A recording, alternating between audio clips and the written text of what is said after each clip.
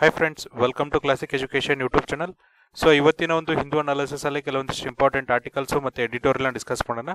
So ನೋಡ್ರಿ ನಾವು ಇಪ್ಪತ್ತೊಂದು ಮೂರು ಎರಡ್ ಸಾವಿರದ ಇಪ್ಪತ್ತ್ ಏನಪ್ಪ ಅಂದ್ರೆ ಹಿಂದೂ ಅನಾಲಿಸಿಸ್ ಅಲ್ಲಿ ಕೆಲವೊಂದಿಷ್ಟು ಇಂಪಾರ್ಟೆಂಟ್ ಆರ್ಟಿಕಲ್ಸ್ ಮತ್ತೆ ಎಡಿಟೋರಿಯಲ್ ಡಿಸ್ಕಸ್ ಮಾಡ್ತಿದ್ವಿ. ಸೊ ಫಸ್ಟ್ ಆರ್ಟಿಕಲ್ ಏನಿದೆ ಅಂದ್ರೆ rapid action against the climate change is needed U N panel so ನೋಡ್ರಿ ಇಲ್ಲಿ ಮಾಡಿದೆ ಅಂದರೆ ಐ ಪಿ ಸಿ ಸಿ ಅನ್ನೋದೇನಪ್ಪ ಅಂದ್ರೆ ಒಂದು ರಿಪೋರ್ಟ್ ಅನ್ನ ಕೊಟ್ಟಿದೆ. ಆ ರಿಪೋರ್ಟ್ ಪ್ರಕಾರ ಏನಪ್ಪ ಅಂದರೆ ಈಗ ರ್ಯಾಪಿಡ್ ಆಕ್ಷನ್ಸ್ ಬೇಕಾಗುತ್ತೆ. ಎಸ್ಪೆಷಲಿ ಯಾವುದಕ್ಕೋಸ್ಕರಪ್ಪ ಅಂದರೆ ನೀವು ಹವಾಮಾನ ಬದಲಾವಣೆ ಏನಾದರೂ ಮಾಡಬೇಕಾದ್ರೆ ಅದಕ್ಕೋಸ್ಕರ ಏನಪ್ಪ ಅಂದರೆ ನೀವು ರ್ಯಾಪಿಡ್ ಆಕ್ಷನ್ಸ್ ಅನ್ನ ತಗೋಬೇಕಾಗುತ್ತೆ. ಅಂದ್ರೆ ತುಂಬಾ ಮುಖ್ಯವಾಗಿ ಆಕ್ಷನ್ಸ್ ಅನ್ನ ನೀವು ತಗೋಬೇಕಾಗುತ್ತೆ ಅಂತ ಹೇಳ್ತಿದೆ ಸೊ ನೋಡ್ರಿ ಈ ರಿಪೋರ್ಟ್ ಅನ್ನ ನಾವು ಓದೋದಕ್ಕಿಂತ ಮುಂಚೆ ಅಥವಾ ತಿಳ್ಕೊಳ್ಳೋದಕ್ಕಿಂತ ಮುಂಚೆ ನಾವೇನು ಮಾಡೋಣ ಅಂದ್ರೆ ಐ ಪಿ ಸಿ ಸಿ ಬಗ್ಗೆ ಕೆಲವೊಂದಿಷ್ಟು ಮಾಹಿತಿಗಳನ್ನು ತಿಳ್ಕೊಂಬರೋಣ. ಸೊ ನೋಡ್ರಿ ಐ ಪಿ ಸಿ ಸಿ ಅಂದ್ರೆ ಏನಪ್ಪ ಅಂದ್ರೆ intergovernmental panel on climate change intergovernmental panel on climate change ಅಂತ ಕರಿತೀವಿ. ಸೊ ನೋಡ್ರಿ ಇದನ್ನೇನಪ್ಪ ಅಂದ್ರೆ ಹತ್ತೊಂಬತ್ ನೂರ ಎಂಬತ್ತೆಂಟರಲ್ಲಿ ಎಸ್ಟಾಬ್ಲಿಷ್ ಮಾಡ್ತಾರೆ. ಯಾರು ಎಸ್ಟಾಬ್ಲಿಷ್ ಮಾಡ್ತಾರಪ್ಪ ಅಂದ್ರೆ world meteorological organisation world meteorological organisation ಜೊತೆ ಜೊತೆಗೆ ನೋಡ್ರಿ.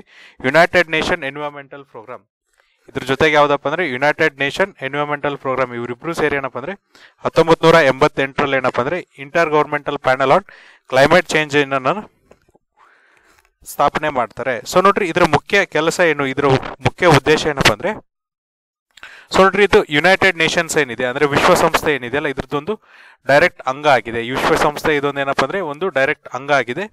ಸೊ ಇದು ಏನ್ ಮಾಡುತ್ತಂದ್ರೆ ನಮಗೆ ಇನ್ಫಾರ್ಮೇಶನ್ ಅನ್ನ ಕೊಡುತ್ತೆ. ಜೊತೆಗೆ ನೋಡ್ರಿ ಅಡ್ವಾನ್ಸ್ ನಾಲೆಜ್ ಅನ್ನ ಕೊಡುತ್ತೆ. ಯಾವ್ದ್ರ ಬಗ್ಗೆ ಅಡ್ವಾನ್ಸ್ ನಾಲೆಜ್ ಅನ್ನ ಕೊಡುತ್ತಪ್ಪ ಅಂದ್ರೆ ಈ ಕ್ಲೈಮೇಟ್ ಚೇಂಜ್ ಅಥವಾ ಹವಾಮಾನ ಬದಲಾವಣೆ ಯಾವ ಥರನಾಗಿ ನಾವು ಮಾಡ್ಬೇಕು ಅನ್ನೋದ್ರ ಬಗ್ಗೆ ಏನಪ್ಪ ಅಂದ್ರೆ ಅಡ್ವಾನ್ಸ್ ನಾಲೆಜ್ ಮತ್ತೆ ಅವೇರ್ನೆಸಸ್ ಅನ್ನ ಇದೇನಪ್ಪ ಅಂದ್ರೆ ಸ್ಪ್ರೆಡ್ ಮಾಡುತ್ತೆ.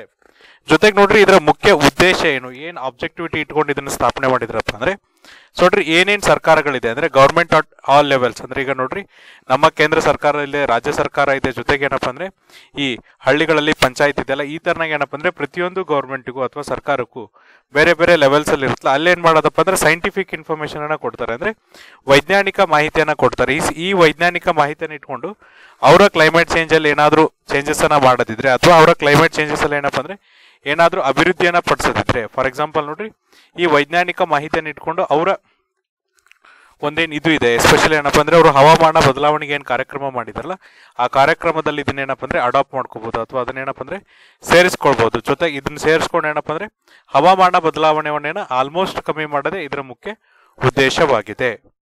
ಸೊ ಈ ಐ ಪಿ ಸಿ ಸಿ ಏನಿದೆಯಲ್ಲ, ಈ I P C C headquarter ಎಲ್ಲಿದೆಯಪ್ಪ ಅಂದ್ರೆ ಜನೆವಾ ಸ್ವಿಟ್ಜರ್ಲ್ಯಾಂಡ್ ಅಲ್ಲಿದೆ ಜನೆವಾ ಸ್ವಿಟ್ಜರ್ಲ್ಯಾಂಡ್ ಅಲ್ಲಿದೆ ಆಲ್ರೆಡಿ ಏನಪ್ಪ ಅಂದ್ರೆ, ಇದರಲ್ಲಿ ಒನ್ ನೈಂಟಿ ಫೈವ್ ಮೆಂಬರ್ಸ್ ಇದ್ದಾರೆ. ಒಟ್ಟು ನೂರ ತೊಂಬತ್ತೈದು ಸದಸ್ಯ ರಾಷ್ಟ್ರಗಳಿವೆ.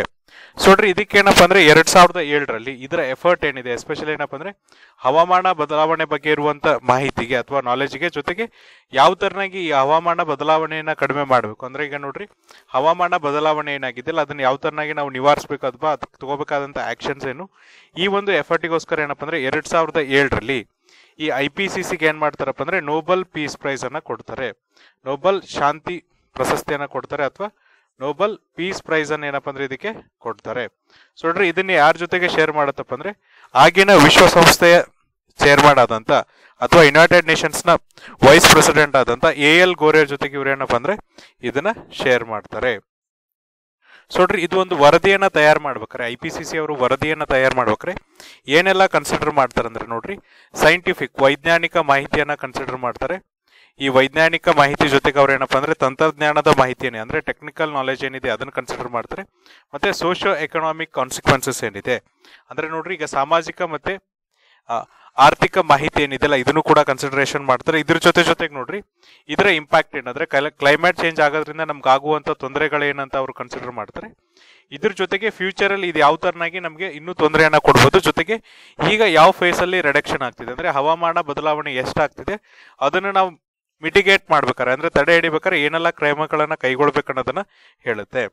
ಸೊ ನೋಡ್ರಿ, ಇದರ ಎರಡು ಮುಖ್ಯ ಅಚೀವ್ಮೆಂಟ್ ಏನಪ್ಪಾ ಅಂದ್ರೆ ಸೊ ನೋಡ್ರಿ, ಇದರ ಡಿಸ್ಕಷನ್ ಇಂದ ಏನಪ್ಪಾ ಅಂದ್ರೆ ಕೀಟೋ ಪ್ರೋಟೋಕಾಲ್ ಅಂತ ಏನ್ ಕೇಳಿದ್ರಲ್ಲ, ಈ ಕೀಟೋ ಪ್ರೋಟೋಕಾಲ್ ಎಸ್ಟಾಬ್ಲಿಷ್ ಮಾಡಕ್ಕೆ ಏನಪ್ಪಾ ಅಂದ್ರೆ ಐ ಪಿ ಸಿ ಸಿಯಲ್ಲಿ ನಡೆದಂತ ಡಿಬೇಟೇ ಕಾರಣವಾಗಿದೆ. ಇದ್ರ ಜೊತೆಗೆ ನೋಡ್ರಿ, ಇನ್ನೂ ಒಂದು ಮುಖ್ಯವಾಗಿ ಏನಪ್ಪಾ ಅಂದ್ರೆ ಪ್ಯಾರಿಸ್ ಅಗ್ರಿಮೆಂಟ್ ಏನ್ ಕರಿತೀವಿ ಅಂದ್ರೆ, ಈಗ ಹವಾಮಾನ ಬದಲಾವಣೆಯಲ್ಲಿ ಪ್ಯಾರಿಸ್ ಅಗ್ರಿಮೆಂಟ್ ಎಷ್ಟು ಮುಖ್ಯವಾಗಿದೆಯಲ್ಲ ಅಂದ್ರೆ ಗ್ಲೋಬಲ್ ವಾರ್ಮಿಂಗ್ ಅನ್ನ ಏನಪ್ಪ ಅಂದ್ರೆ ಜಾಗತಿಕ ತಾಪಮಾನ ಎರಡು ಡಿಗ್ರಿಗಿಂತ ಜಾಸ್ತಿ ಮಾಡಬಾರ್ದು ಅಂತ ಏನು ಹೇಳಿದಾರಲ್ಲ? ಇದನ್ನ ಅಡಾಪ್ಟ್ ಮಾಡ್ಕೊಂಡಿದ್ದು ಅಥವಾ ಇದನ್ನ ಜಾರಿಗೆ ತಂದಿದ್ದು ಕೂಡ ಏನಪ್ಪಾ ಅಂದ್ರೆ ಇದ್ರದ್ದು ಒಂದು ಡಿಸ್ಕಷನ್ ಮೂಲಕ ಅಂತಾನೆ ಹೇಳ್ತಿದ್ದಾರೆ. ಸೊ ನೋಡ್ರಿ ಫಿಫ್ತ್ ಅಸೆಸ್ಮೆಂಟ್ ರಿಪೋರ್ಟ್ ಮೂಲಕ ಅಂದ್ರೆ ಐ ಪಿ ಸಿ ಸಿಯ ಫಿಫ್ತ್ ಅಸೆಸ್ಮೆಂಟ್ ರಿಪೋರ್ಟ್ ಏನ್ ಬರುತ್ತಲ್ಲ? ಈ ಒಂದು ರಿಪೋರ್ಟ್ ಬಂದ ಮೇಲೆ ಏನಪ್ಪಾ ಅಂದ್ರೆ ಪ್ಯಾರಿಸ್ ಅಗ್ರಿಮೆಂಟ್ಗೆ ಪ್ರತಿಯೊಬ್ಬರು ಸಹಾಯವನ್ನ ಪ್ಯಾರಿಸ್ ಅಗ್ರಿಮೆಂಟ್ಗೆ ಪ್ರತಿಯೊಬ್ಬರು ಏನಪ್ಪಾ ಅಂದ್ರೆ ಸಹಾಯ ಸಹಿಯನ್ನ ಹಾಕ್ತಾರೆ. ನೋಡ್ರಿ ಇವ್ರ ವರದಿಯನ್ನ ಯಾವ ತರನಾಗಿ ತಯಾರು ಮಾಡ್ತಾರೆ? ಅಂದ್ರೆ ಈಗ ಐ ಪಿ ಸಿ ಸಿ ಏನಿದೆಯಲ್ಲ, ಇವರು ವರದಿಯನ್ನ ಯಾವ ತರನಾಗಿ ತಯಾರು ಮಾಡ್ತಾರೆ? ಅಂದ್ರೆ ಇಲ್ಲಿ ಮೂರು ವರ್ಕಿಂಗ್ ಗ್ರೂಪ್ ಇರುತ್ತೆ. ಸೊ ಈ ಮೂರು ವರ್ಕಿಂಗ್ ಗ್ರೂಪ್ ಅವರು ಕೂಡಿ ಏನ್ ಮಾಡ್ತಾರಪ್ಪ ಅಂದ್ರೆ ವರದಿಯನ್ನ ತಯಾರು ಮಾಡ್ತಾರೆ. ಸೊ ನೋಡ್ರಿ ಮೊದ್ಲೇನಪ್ಪ ಅಂದ್ರೆ ವರದಿಯನ್ನ ತಯಾರು ಮಾಡ್ಬೇಕ್ರೆ ಮೂರು ವರ್ಕಿಂಗ್ ಗ್ರೂಪ್ ಇರುತ್ತೆ. ಮೊದಲನೇ ಗ್ರೂಪ್ ಏನ್ ಮಾಡತ್ತಪ್ಪ ಅಂದ್ರೆ ಈ ಹವಾಮಾನ ಬದಲಾವಣೆಯಿಂದ ಏನಪ್ಪ ಅಂದ್ರೆ ಸೈಂಟಿಫಿಕ್ ಫೌಂಡೇಶನ್ಸ್ ಏನಿದೆ. ಅಂದ್ರೆ ಈ ಹವಾಮಾನ ಬದಲಾವಣೆಗೆ ಯಾವ ತರನಾಗಿ ನಾವು ವೈಜ್ಞಾನಿಕವಾಗಿ ಫೌಂಡೇಶನ್ ಅನ್ನು ಹಾಕ್ಬೇಕನ್ನೋದನ್ನ ಮೊದಲನೇ ಗ್ರೂಪ್ ಹೇಳಿದ್ರೆ ಎರಡನೇ ಗ್ರೂಪ್ ಏನ್ ಮಾಡುತ್ತಪ್ಪ ಅಂದ್ರೆ ಹವಾಮಾನ ಬದಲಾವಣೆಯಿಂದ ಯಾವ ತರನಾಗಿ ನಮಗೆ ಕಾನ್ಸಿಕ್ವೆನ್ಸ್ ಆಗುತ್ತೆ? ಅಂದ್ರೆ ಇವ್ರೇನ್ ಮಾಡ್ತಾರಪ್ಪ ಅಂದ್ರೆ ತನಿಖೆಯನ್ನ ನಡೆಸ್ತಾರೆ. ಯಾವ್ದ್ರ ಬಗ್ಗೆ ತನಿಖೆ ನಡೆಸ್ತಾರೆ ಅಂದ್ರೆ ಈಗ ಹವಾಮಾನ ಬದಲಾವಣೆ ಆದ್ರೆ ಫ್ಯೂಚರ್ ಅಲ್ಲಿ ನಮ್ಗೆ ಏನ್ ತೊಂದರೆಗಳಾಗ್ಬೋದು? ಮತ್ತೆ ಇದರಿಂದ ಆಗುವಂತ ಕಾನ್ಸಿಕ್ವೆನ್ಸಸ್ ಏನು? ಅಂದ್ರೆ ಯಾರಿಗೆಲ್ಲ ತೊಂದರೆಗಳಾಗುತ್ತೆ? ಜೊತೆಗೆ ನೋಡ್ರಿ ಎಲ್ಲೆಲ್ಲಿ ತೊಂದರೆ ಆಗುತ್ತೆ ಅನ್ನೋದನ್ನ ಯಾರು ಡಿಸ್ಕಸ್ ಮಾಡ್ತಾರಪ್ಪ ಅಂದ್ರೆ ವರ್ಕಿಂಗ್ ಗ್ರೂಪ್ ಎರಡನೇ ಡಿಸ್ಕಸ್ ಮಾಡುತ್ತೆ. ಇದ್ರ ಜೊತೆಗೆ ಮೂರನೇದು ಕ್ಲೈಮೇಟ್ ಚೇಂಜ್ ಮೂರನೇ ಗ್ರೂಪ್ ಏನ್ ಚೇಂಜ್ ಮಾಡುತ್ತಪ್ಪ ಅಂದ್ರೆ ಏನು ಸ್ಟಡಿಯನ್ನ ಮಾಡುತ್ತೆ ಅಥವಾ ವರದಿಯನ್ನ ಮಾಡುತ್ತೆ ಅಂದ್ರೆ ಹವಾಮಾನ ಬದಲಾವಣೆಯನ್ನ ಯಾವ ತರನಾಗಿ ಮಾಡಬೇಕು? ಮತ್ತೆ ಅದಕ್ಕಿರುವಂತ ಮೆಜರ್ಸ್ ಏನಂದ್ರೆ ನಾವು ಏನೆಲ್ಲ ಯೋಜನೆಗಳನ್ನ ಕೈ ಎತ್ಕೊಂಡ್ರೆ ಏನಪ್ಪ ಅಂದ್ರೆ ಹವಾಮಾನ ಬದಲಾವಣೆ ಏನಿದೆಯಲ್ಲ ಇದನ್ನ ಕಮ್ಮಿ ಮಾಡ್ಬೋದು ಅನ್ನೋದೇನಪ್ಪ ಅಂದ್ರೆ ಮೂರನೇ ಗ್ರೂಪ್ ಹೇಳುತ್ತೆ. ಸೊ ಮೊದಲನೇ ಗ್ರೂಪ್ ಏನಪ್ಪ ಅಂದ್ರೆ ಸೈಂಟಿಫಿಕ್ ಫೌಂಡೇಶನ್ಸ್ ಅಂದ್ರೆ ಈ ಹವಾಮಾನ ಬದಲಾವಣೆಗೆ ಕಾರಣಗಳೇನು? ಇದಕ್ಕಿರುವಂತ ಸೈಂಟಿಫಿಕ್ ಆಗಿ ಅವ್ರು ಏನಪ್ಪ ಅಂದ್ರೆ ಸ್ಟಡಿ ಮಾಡಿದ್ರೆ ಎರಡನೇ ಗುಂಪು ಏನ್ ಮಾಡುತ್ತಪ್ಪ ಅಂದ್ರೆ ಈ ಹವಾಮಾನ ಬದಲಾವಣೆ ಆದ್ರೆ ಏನೆಲ್ಲ ಕಾನ್ಸಿಕ್ವೆನ್ಸಸ್ ಆಗ್ಬೋದು ಅನ್ನೋದನ್ನ ತನಿಖೆ ಮಾಡಿದ್ರೆ ಮೂರನೇ ಗುಂಪು ಏನ್ ಮಾಡುತ್ತಪ್ಪ ಅಂದ್ರೆ ಯಾವ ತರನಾಗಿ ಈ ಹವಾಮಾನ ಬದಲಾವಣೆ ಆಗಿದೆಯಲ್ಲ ಅದನ್ನ ನಾವು ಯಾವ ತರನಾಗಿ ಮಿಟಿಗೇಷನ್ಸ್ ಮಾಡ್ಬೋದು ಅಥವಾ ಅದನ್ನ ಯಾವ ತರನಾಗಿ ಕಮ್ಮಿ ಮಾಡ್ಬೋದು ಅನ್ನೋದೇನಪ್ಪ ಅಂದ್ರೆ ಮೂರನೇ ಗುಂಪು ಸ್ಟಡಿ ಮಾಡುತ್ತೆ. ಈ ಒಂದು ವರದಿಯನ್ನು ಆಧರಿಸಿ ನೋಡ್ರಿ, ಏನೇನು ನಮ್ಮಲ್ಲಿ ಹವಾಮಾನ ಬದಲಾವಣೆ ಆಗಿದೆ ಎಸ್ಪೆಷಲಿ ಟೆಂಪರೇಚರ್ ಎಷ್ಟು ಜಾಸ್ತಿ ಆಗಿದೆ ಅನ್ನೋದನ್ನ ನಾವು ನೋಡ್ತಾ ಹೋದ್ರೆ ಸೊ ಈಗ ನೋಡ್ರಿ ಫಾರ್ ಎಕ್ಸಾಂಪಲ್ ಟೆಂಪರೇಚರ್ ಎಷ್ಟು ಜಾಸ್ತಿ ಆಗಿದೆಯಪ್ಪ ಅಂದ್ರೆ, ಈ ಹತ್ತೊಂಬತ್ ನೂರ ಹದಿನೆಂಟುನೂರ ಐವತ್ತು ಮತ್ತೆ ಹತ್ತೊಂಬತ್ ನೂರ ಕಂಪೇರ್ ಮಾಡಿದ್ರೆ, ಎರಡ್ ಸಾವಿರದ ಹನ್ನೊಂದು ರಿಂದ ಎರಡ್ ಸಾವಿರದ ಇಪ್ಪತ್ತರವರೆಗೆ ನೋಡ್ರಿ ಎಷ್ಟು ಟೆಂಪರೇಚರ್ ಮೀನ್ ಟೆಂಪರೇಚರ್ ಅಂದ್ರೆ ಸರಾಸರಿ ಟೆಂಪರೇಚರ್ ಜಾಸ್ತಿ ಆಗಿದೆ ಅಂದ್ರೆ one point zero nine degree Celsius ಜಾಸ್ತಿ ಆಗಿದೆ. ಸರಾಸರಿ ತಾಪಮಾನ ಏನಿರುತ್ತಲ್ಲ, ಅದಕ್ಕಿಂತ ಏನಪ್ಪ ಅಂದ್ರೆ one point zero nine percentage ಜಾಸ್ತಿ ಆಗಿದೆ ಅಂತ ಹೇಳ್ತಿದ್ದಾರೆ. ಇದ್ರ ಜೊತೆಗೆ ನೋಡ್ರಿ ಈ ತಾಪಮಾನ ಎಲ್ಲಿ ಜಾಸ್ತಿ ಆಗಿದೆಯಪ್ಪ ಅಂದ್ರೆ ಭೂಮಿಯ ಮೇಲ್ಮೈಯಲ್ಲೇ ಜಾಸ್ತಿ ಆಗಿದೆ. ಅಂದ್ರೆ ಭೂಮಿ ಏನಿದ್ರಲ್ಲ, ಇದರ ಮೇಲ್ಮೇಲೆ ಜಾಸ್ತಿ ಆಗಿದೆ. ಕಂಪೇರ್ ಟು ಏನಪ್ಪ ಅಂದ್ರೆ ಸಮುದ್ರದ ಮೇಲ್ಮೈ ಕಂಪೇರ್ ಮಾಡಿದ್ರೆ ಭೂಮಿಯ ಮೇಲ್ಮೈ ಏನಪ್ಪ ಅಂದ್ರೆ ತಾಪಮಾನ ಹೆಚ್ಚಳಿಕೆ ಜಾಸ್ತಿ ಆಗಿದೆ ಅಂತ ಹೇಳಿದ್ದಾರೆ. ಜೊತೆಗೆ ನೋಡ್ರಿ, ಕಳೆದ ನಾಲ್ಕು ದಶಕಗಳೇನಿದೆಯಲ್ಲ, ಒಂದಕ್ಕಿಂತ ಒಂದು ಏನಾಗಿದೆಯಪ್ಪ ಅಂದ್ರೆ ವಾರ್ಮರ್ ಆಗಿದೆ. ಅಂದ್ರೆ ಒಂದಕ್ಕಿಂತ ಒಂದರಲ್ಲಿ ಏನಪ್ಪ ಅಂದ್ರೆ ತಾಪಮಾನ ಜಾಸ್ತಿ ಆಗ್ತಾನೆ ಬಂದಿದೆ. ನೀವು ಕಳೆದ ನಾಲ್ಕು ಈ ದಶಕಗಳನ್ನ ತಗೊಂಡ್ರೆ ಒಂದು ದಶಕ ಕಂಪೇರ್ ಮಾಡಿದ್ರೆ ಇನ್ನೊಂದು ದಶಕ ಏನಪ್ಪಾ ಅಂದ್ರೆ ತಾಪಮಾನ ಹೆಚ್ಚಳಕ್ಕೆ ಆಗ್ತಾನೆ ಬಂದಿದೆ. ಇದ್ರ ಜೊತೆಗೆ ನೋಡ್ರಿ ಆರ್ಕಿಟಿಕ್ ಸಿ ಏನಿದೆ? ಆರ್ಕಿಟಿಕ್ ಸಿ ಏನಿದೆಯಲ್ಲ? ಇಲ್ಲಿ ಏನಾಗಿದೆಯಪ್ಪ ಅಂದ್ರೆ ಈ ಒಂದು ಸ್ನೋ ಏನಿರುತ್ತೆ ಅಥವಾ ಮಂಜುಗಡ್ಡೆ ಇರುತ್ತಲ್ಲ ಅದೆಷ್ಟು ಪರ್ಸೆಂಟೇಜ್ ಕಡಿಮೆ ಇದೆ, ಕರಗಿದೆ ಅಂದ್ರೆ ನಲವತ್ತು ಪರ್ಸೆಂಟೇಜ್ ಕರಗಿದೆ ಅಂತ ಹೇಳ್ತಿದ್ದಾರೆ. ಸೊ ನೋಡ್ರಿ, ಎಲ್ಲಿ ಕರಗಿದೆಯಪ್ಪ ಅಂದ್ರೆ ಹತ್ತೊಂಬತ್ತು ನೂರ ಎಪ್ಪತ್ತೊಂಬತ್ತು ಮತ್ತೆ ಎಂಬತ್ತೆಂಟು ಕಂಪೇರ್ ಮಾಡಿದ್ರೆ ಎರಡ್ ಸಾವಿರದ ಹತ್ತರಿಂದ ಹತ್ತೊಂಬತ್ತು ಹೊತ್ತಿಗೆ ನೋಡ್ರಿ. ಎಷ್ಟು ಪರ್ಸೆಂಟೇಜ್ ಕಮ್ಮಿ ಆಗಿದೆ ಅಥವಾ ಕರಗಿದೆ ಅಂದ್ರೆ ನಲವತ್ತು ಪರ್ಸೆಂಟೇಜ್ ಕರಿಬೇಕೆ ಅಂತ ಹೇಳ್ತಿದ್ದಾರೆ.